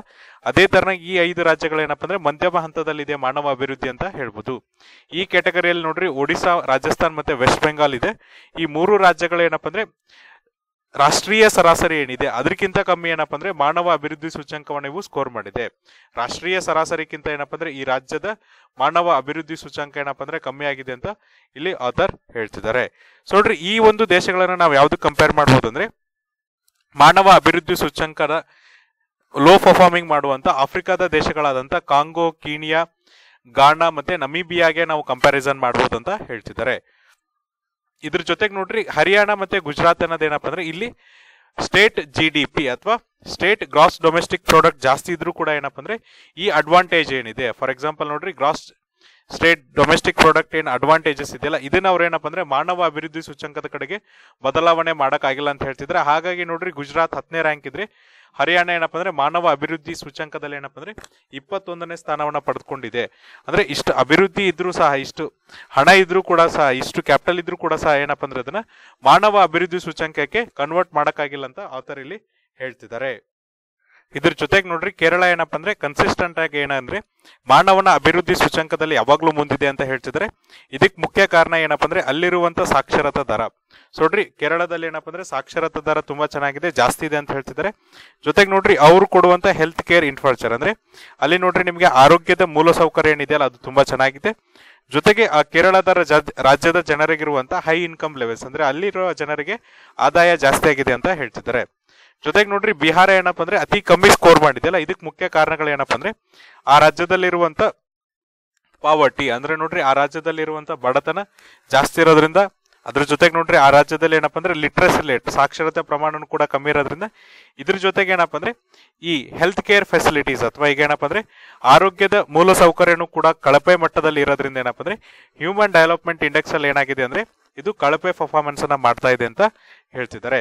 ಆಮೇಲೆ ನೋಡ್ರಿ, ಈ ಒಂದು ಇಂಡೆಕ್ಸ್ ಏನಿದೆಯಲ್ಲ ಸ್ಟೇಟ್ ವೈಸ್ ಏನೀಗ ಹ್ಯೂಮನ್ ಡೆವಲಪ್ಮೆಂಟ್ ಇಂಡೆಕ್ಸ್ ಅನ್ನ ತಗೊಂಡಿದ್ದಾರಲ್ಲ, ಇದೇನಪ್ಪ ಅಂದ್ರೆ ಬಿಫೋರ್ ಕೊರೋನಾದಕ್ಕಿಂತ ಮುಂಚೆ ತಗೊಂಡಿದ್ದಾರೆ ಅಂತ ಹೇಳ್ತಿದ್ರೆ ಇದ್ರೊಳಗೆ ಕೊರೋನಾದ ಏನ್ ಎಫೆಕ್ಟ್ ಆಗಿದೆ ಅಂದ್ರೆ ಪ್ಯಾಂಡಮಿಕ್ ಎಫೆಕ್ಟ್ ಏನಾಗಿದಿಲ್ಲ ಅದನ್ನ ಕನ್ಸಿಡರಬಲ್ ಮಾಡಿಲ್ಲ. ಇನ್ ಕೇಸ್ ಪ್ಯಾಂಡಮಿಕ್ ಎಫೆಕ್ಟ್ ಅನ್ನ ನಾವು ಕನ್ಸಿಡರ್ ಮಾಡಿದ್ರೆ, ಈ ಒಂದು ರಿಪೋರ್ಟ್ ಏನಾಗುತ್ತೆ ಅಂದ್ರೆ ಇನ್ನೂ ಕೂಡ ಹಿಂದೋಗುತ್ತೆ ಅಂತ ಹೇಳ್ತಿದ್ದಾರೆ. ಜೊತೆಗೆ ನೋಡ್ರಿ ಪ್ಯಾಂಡಮಿಕ್ ರಿಪೋರ್ಟ್ ಯಾವಾಗ ಸಿಗುತ್ತೆ ಅಥವಾ ಪ್ಯಾಂಡಮಿಕ್ ಆದ್ಮೇಲೆ ನಮ್ಗೆ ಏನಪ್ಪ ಅಂದ್ರೆ ಹ್ಯೂಮನ್ ಡೆವಲಪ್ಮೆಂಟ್ ಇಂಡೆಕ್ಸ್ ಯಾವಾಗ ಸಿಗುತ್ತೆ ಅಂದ್ರೆ ಒಂದ್ಸರಿ ಕೊರೋನಾ ಕಂಪ್ಲೀಟ್ ಆಗಿ ಹೋದ್ಮೇಲೆ ಮಾತ್ರ ನಮ್ಗೆ ಏನಪ್ಪ ಅಂದ್ರೆ ಪೋಸ್ಟ್ ಪ್ಯಾಂಡಮಿಕ್ ಹ್ಯೂಮನ್ ಡೆವಲಪ್ಮೆಂಟ್ ವರದಿ ಸಿಗುತ್ತೆ ಅಂತ ಹೇಳ್ತಿದ್ದಾರೆ. ಹಾಗಾದ್ರೆ ಈ ತಾರತಮ್ಯಗಳಿಗೆ ಕಾರಣಗಳು ಏನಪ್ಪ ಅಂದ್ರೆ ನೋಡ್ರಿ ಒಂದು ಮುಖ್ಯ ಕಾರಣ ಏನಪ್ಪ ಅಂದ್ರೆ, ಈ ಏನ್ ಎಕನಾಮಿಕಲ್ ಗ್ರೋತ್ ಅಥವಾ ಆರ್ಥಿಕ ಅಭಿವೃದ್ಧಿ ಆಗಿದೆಯಲ್ಲ, ಅದೇನಪ್ಪ ಅಂದ್ರೆ ಸಮಾನವಾಗಿ ಡಿಸ್ಟ್ರಿಬ್ಯೂಟ್ ಆಗಿಲ್ಲ. ಅಂದ್ರೆ ಎಲ್ಲ ಕಡೆಗೂ ಸಮಾನವಾಗಿ ಹಂಚಿಕೆ ಆಗಿಲ್ಲ. ಬದಲಾಗಿ ಇದು ಅಸಮಾನವಾಗಿ ಹಂಚಿಕೆ ಆಗಿದೆ ಅಂತ ಹೇಳ್ತಿದ್ದಾರೆ. ಭಾರತದ ಹತ್ತು ಪರ್ಸೆಂಟ್ ಜನಸಂಖ್ಯೆ ಹತ್ರ ಮಾತ್ರ ನೋಡ್ರಿ. ಭಾರತದ ಒಟ್ಟು ಎಪ್ಪತ್ತೇಳು ಪರ್ಸೆಂಟ್ ಏನಪ್ಪ ಅಂದ್ರೆ ವೆಲ್ತ್ ಇದೆ ಅಂತ ಹೇಳ್ತಿದ್ದಾರೆ. ಹಾಗಾಗಿ ಏನಂದ್ರೆ, ಈ ಡಿಸ್ಪ್ಯಾರಿಟೀಸ್ ಏನಿದೆ ತಾರತಮ್ಯಗಳು ಏನಿದೆ ಅಂದ್ರೆ ಬೇಸಿಕ್ ಎಮ್ಯುನಿಟೀಸ್ ಆದಂತ ಹೆಲ್ತ್ ಕೇರ್ ಇರ್ಬೋದು ಇರ್ಬೋದು, ಈ ತಾರತಮ್ಯಗಳು ಕ್ರಿಯೇಟ್ ಆಗಿದೆ ಅಂತ ಹೇಳ್ತಿದ್ದಾರೆ. ಇದ್ರ ಜೊತೆಗೆ ನೋಡ್ರಿ, ಇನ್ನೂ ಒಂದು ಮುಖ್ಯ ಕಾರಣಗಳು ಏನಪ್ಪ ಅಂದ್ರೆ, ಭಾರತ ಏನ್ ಮಾಡಿದೆ ಅಂದ್ರೆ, ಈ ಕೆಲವೊಂದಿಷ್ಟು ಸರ್ವಿಸ್ ಅನ್ನ ಅಥವಾ ಸೇವೆಗಳನ್ನ ಕೊಡೋದ್ರಲ್ಲಿ ತುಂಬಾ ಸಿಗ್ನಿಫಿಕೆಂಟ್ ಪ್ರೋಗ್ರೆಸ್ ಅನ್ನ ಕಂಡುಕೊಂಡಿದೆ. ಫಾರ್ ಎಕ್ಸಾಂಪಲ್ ನೋಡ್ರಿ ಈಗ ಪ್ರತಿಯೊಬ್ಬರಿಗೂ ಆರೋಗ್ಯ ಸೇವೆ ಒದಗಿಸ್ಕೊಳ್ಳಿ ನಾವೇನ್ ಮಾಡಿದ್ವಪ್ಪ ಅಂದ್ರೆ ಆಕ್ಸೆಸ್ ಅನ್ನ ಜಾಸ್ತಿ ಮಾಡಿದ್ವಿ. ಆದ್ರೆ ಪ್ರತಿಯೊಬ್ಬರಿಗೂ ಕೂಡ ಆರೋಗ್ಯ ಸೇವೆ ಒದಗಿಸ್ಬೇಕಂತ ಹೇಳಿ ಏನಪ್ಪ ಅಂದ್ರೆ ಮೂಲ ಸೌಕರ್ಯಗಳನ್ನು ಜಾಸ್ತಿ ಮಾಡಿದ್ವಿ.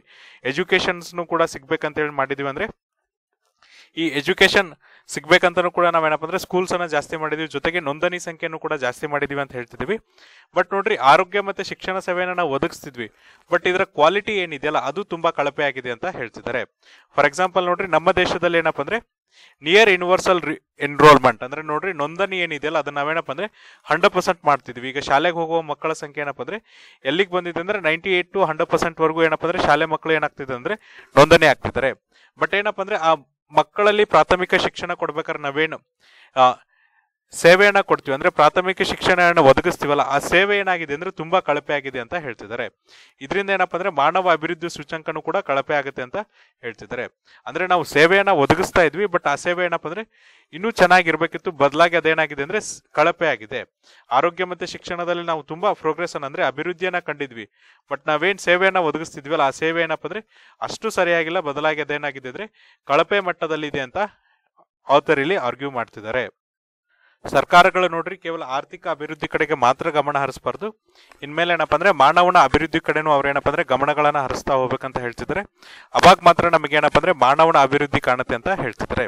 ಇದಕ್ಕೋಸ್ಕರ ನೋಡ್ರಿ ನಾವು ಬಹು ಆಯಾಮದ ಒಂದು ಅಪ್ರೋಚ್ ಅನ್ನ ಮಾಡ್ಬೇಕಂತ ಹೇಳ್ತಿದ್ರೆ ಸೊ ಇಲ್ಲಿ ನಾವೇನ್ ಮಾಡ್ಬೇಕಪ್ಪ ಅಂದ್ರೆ ಏನ್ ಇನ್ಕಮ್ ಇನ್ಇಕ್ವಾಲಿಟೀಸ್ ಇದೆ, ಅಂದ್ರೆ ಆದಾಯ ಅಸಮಾನತೆ ಏನಿದೆಯಲ್ಲ, ಅದನ್ನ ತೊಲಗಿಸ್ಬೇಕು. ಲಿಂಗ ಅಸಮಾನತೆಯನ್ನ ತೊಲಗಿಸ್ಬೇಕು. ಜೊತೆಗೆ ನೋಡ್ರಿ ಪ್ರತಿಯೊಬ್ಬರಿಗೂ ಕೂಡ ಏನಪ್ಪ ಅಂದ್ರೆ ಕ್ವಾಲಿಟಿ ಸಾಮಾಜಿಕ ಸೇವೆಗಳು ಸಿಗಬೇಕಂತ ಹೇಳ್ತಿದ್ದಾರೆ. ಇದ್ರ ಜೊತೆಗೆ ನೋಡ್ರಿ, ವಾತಾವರಣದಲ್ಲಿ ಏನು ಸಮಸ್ಯೆಗಳಿದೆ ಚಾಲೆಂಜಸ್ ಏನಿದೆ, ಅದನ್ನು ಕೂಡ ಅಡ್ರೆಸ್ ಮಾಡಬೇಕು. ಜೊತೆಗೆ ನಾವು ಯಾವ್ದ್ರಲ್ಲೇ ಹೆಚ್ಚಿನ ಇನ್ವೆಸ್ಟ್ಮೆಂಟ್ ಅನ್ನ ಮಾಡ್ಬೇಕಪ್ಪ ಅಂದ್ರೆ, ಈ ಸೋಷಿಯಲ್ ಇನ್ಫ್ರಾಸ್ಟ್ರಕ್ಚರ್ ಅಂದ್ರೆ ಸಾಮಾಜಿಕ ಮೂಲಸೌಕರ್ಯ ಆದಂತ ಆರೋಗ್ಯ ಸೇವೆ, ಶಿಕ್ಷಣದಲ್ಲಿ ಮತ್ತೆ ಬೇಸಿಕ್ ಹೌಸ್ ಹೋಲ್ಡ್ ಅಮ್ಯುನಿಟೀಸ್ ಏನಿದೆಯಲ್ಲ. ಫಾರ್ ಎಕ್ಸಾಂಪಲ್ ನೋಡ್ರಿ ಬೇಸಿಕ್ ಹೌಸ್ ಹೋಲ್ಡ್ ಅಮ್ಯುನಿಟೀಸ್ ಅಥವಾ ಸೌಲಭ್ಯಗಳು ಏನಪ್ಪ ಅಂದ್ರೆ, ಪ್ರತಿಯೊಬ್ಬರಿಗೂ ಏನಪ್ಪ ಅಂದ್ರೆ ಕುಡಿಯುವ ನೀರು ಕ್ಲೀನ್ ಆಗಿರ್ಬೇಕು. ಅಂದ್ರೆ ಶುದ್ಧವಾದ ನೀರು ಸಿಗಬೇಕು. ಜೊತೆಗೆ ಏನಪ್ಪ ಅಂದ್ರೆ ಪ್ರತಿಯೊಬ್ಬರಿಗೂ ಕೂಡ ಏನಪ್ಪ ಅಂದ್ರೆ ಸ್ಯಾನಿಟೇಷನ್ ಅಂದ್ರೆ ಈಗ ನೋಡ್ರಿ, ನೈರ್ಮಲೀಕರಣ ಏನಿದೆಯಲ್ಲ ಪ್ರತಿಯೊಬ್ಬರಿಗೂ ಸಿಗಬೇಕು. ಜೊತೆಗೆ ಏನಪ್ಪ ಅಂದ್ರೆ ತುಂಬಾ ಹಸಿರು ಇಂಧನವನ್ನು ನಾವು ಬಳಸಬೇಕು. ಜೊತೆಗೆ ಏನಪ್ಪ ಅಂದ್ರೆ ಎಲೆಕ್ಟ್ರಿಸಿಟಿ ಏನಿದೆ ಅದನ್ನ ಕೊಡಬೇಕು. ಜೊತೆಗೆ ಏನಪ್ಪ ಅಂದ್ರೆ ಇಂಟರ್ನೆಟ್ ಅನ್ನ ನಾವೇನಪ್ಪ ಅಂದ್ರೆ ಅಂಡರ್ ಡೆವಲಪ್ಡ್ ಸ್ಟೇಟ್ಸ್ ಅಥವಾ ಕಡಿಮೆ ಅಭಿವೃದ್ಧಿ ಹೊಂದಿದ ರಾಜ್ಯಗಳಿಗೆ ಕೊಡಬೇಕಂತ ಹೇಳ್ತಿದ್ದಾರೆ. ಸೊ ನೋಡ್ರಿ, ಇಲ್ಲಿ ಏನೇನ್ ಮಾಡ್ಬೇಕಂದ್ರೆ ಫಸ್ಟ್ ಆಫ್ ಆಲ್ ನಾವು ಏನ್ ಮಾಡ್ಬೇಕಂದ್ರೆ, ಈ ಒಂದು ಆದಾಯ ಅಸಮಾನತೆನ ತೊಲಗಿಸ್ಬೇಕು ಜೊತೆಗೆ, ಲಿಂಗ ಅಸಮಾನತೆನ ತೊಲಗಿಸ್ಬೇಕು ಜೊತೆಗೆ ಏನಪ್ಪ ಅಂದ್ರೆ, ಪ್ರತಿಯೊಬ್ಬರಿಗೂ ಕ್ವಾಲಿಟಿ ಸೋಷಿಯಲ್ ಸರ್ವಿಸ್ ಅನ್ನ ಪ್ರೊವೈಡ್ ಮಾಡ್ತಾ ಹೋಗ್ಬೇಕು. ಫಾರ್ ಎಕ್ಸಾಂಪಲ್ ನೋಡ್ರಿ ಕ್ವಾಲಿಟಿ ಸೋಷಿಯಲ್ ಸರ್ವಿಸ್ ಆದಂತ ಹೆಲ್ತ್ ಕೇರ್ ಇರ್ಬೋದು ಎಜುಕೇಶನ್ಸ್ ನಾವು ಕೊಡ್ತಾ ಹೋಗ್ಬೇಕು. ಜೊತೆಗೆ ನೋಡ್ರಿ, ಜಾಸ್ತಿ ಇನ್ವೆಸ್ಟ್ಮೆಂಟ್ ಅನ್ನ ನಾವೇನ್ ಮಾಡ್ಬೇಕಪ್ಪ ಅಂದ್ರೆ, ಮೂಲ ಸೌಕರ್ಯಗಳಲ್ಲಿ ಎಷ್ಟು ಇನ್ವೆಸ್ಟ್ಮೆಂಟ್ ಮಾಡಬೇಕು? ಈಗ ಮಾಡಿದ್ದೀವಿ ಬಟ್ ಅಲ್ಲೇನಪ್ಪ ಅಂದರೆ ಕ್ವಾಲಿಟಿನ ಇನ್ನೂ ಚೆನ್ನಾಗಿ ಕೊಡಬೇಕಂತ ಹೇಳ್ತಿದ್ದಾರೆ. ಇದ್ರ ಜೊತೆಗೆ ನೋಡ್ರಿ, ಪ್ರತಿಯೊಬ್ಬರಿಗೂ ಹೌಸ್ ಹೋಲ್ಡಿಗೆ ಏನಪ್ಪ ಅಂದ್ರೆ ಬೇಸಿಕ್ ಕಮ್ಯುನಿಟೀಸ್ ಅಥವಾ ಬೇಸಿಕ್ ಫೆಸಿಲಿಟೀಸ್ ಆದಂಥ ಶುದ್ಧವಾದ ನೀರು, ಜೊತೆಗೆ ಏನಪ್ಪ ಅಂದ್ರೆ ನೈರ್ಮಲೀಕರಣ ಫೆಸಿಲಿಟೀಸ್ ಜೊತೆಗೆ ಏನಪ್ಪ ಅಂದ್ರೆ ಸ್ವಚ್ಛವಾದ ಇಂಧನ ಎಲೆಕ್ಟ್ರಿಸಿಟಿ ಮತ್ತೆ ಇಂಟರ್ನೆಟ್ ಕೊಟ್ಟರೆ ಕೊಟ್ರೆ ನಾವೇನ್ ಮಾಡ್ದಂಗಾಗುತ್ತೆ ಅಂದ್ರೆ ಮಾನವನ ಅಭಿವೃದ್ಧಿಯನ್ನ ಇನ್ನೂ ಜಾಸ್ತಿ ಮಾಡ್ದಂಗಾಗುತ್ತೆ. ಇಷ್ಟೆಲ್ಲ ಬೇಸಿಕ್ ಫೆಸಿಲಿಟೀಸ್ನ ಕೊಟ್ಟ ಮೇಲೆ ಏನಾಗತ್ತಪ್ಪ ಅಂದ್ರೆ, ಅಲ್ಲಿ ತಂತಾನೇ ಮಾನವ ಅಭಿವೃದ್ಧಿ ಜಾಸ್ತಿ ಆಗುತ್ತೆ. ಇದರಿಂದ ಏನಾಗತ್ತಪ್ಪ ಅಂದ್ರೆ, ಅಲ್ಲಿರುವಂತ ಇಂಟರ್ನೆಟ್ ಅನ್ನ ಯೂಸ್ ಮಾಡ್ಕೊಂಡು ಏನಪ್ಪ ಅಂದ್ರೆ, ಅವ್ರಿಗೆ ಬೇಕಾದಂತ ಅಡಿಷನಲ್ ಸ್ಕಿಲ್ಸ್ ಅನ್ನ ಕಲಿತು ಜಾಬ್ ಮಾರ್ಕೆಟಿಗೆ ಏನ್ ಕೌಶಲ್ಯಗಳು ಬೇಕಲ್ಲ, ಆ ಕೌಶಲ್ಯಗಳು ಸಿಗುತ್ತೆ. ಜೊತೆಗೆ ಏನಪ್ಪ ಅಂದ್ರೆ, ಈಗೇನ್ ಕೌಶಲ್ಯದ ಕಮ್ಮಿ ಕೊರತೆ ಇದೆಯಲ್ಲ, ಆ ಕೊರತೆ ಆಗಿ ಮಾನವನ ಅಭಿವೃದ್ಧಿ ಕೂಡ ಜಾಸ್ತಿ ಆಗಿ ಏನಪ್ಪ ಅಂದ್ರೆ, ರಾಜ್ಯದ ಅಭಿವೃದ್ಧಿ ಕೂಡ ಜಾಸ್ತಿ ಆಗುತ್ತೆ ಅಂತ ಹೇಳ್ತಿದ್ದಾರೆ. ಸೊ ಇದು ಏನಪ್ಪ ಅಂದ್ರೆ ಇವತ್ತಿನ ಒಂದು ಹಿಂದೂ ಅನಾಲಿಸಿಸ್ ನಾಳೆ ಮತ್ತೊಂದಿಷ್ಟು ಆರ್ಟಿಕಲ್ಸ್ ಮತ್ತೆ ಎಡಿಟೋರಿಯಲ್ ಡಿಸ್ಕಸ್ ಮಾಡೋಣ. ಅಲ್ಲಿವರೆಗೂ ನೋಡ್ತಾ ಇರಿ classic education YouTube channel thank you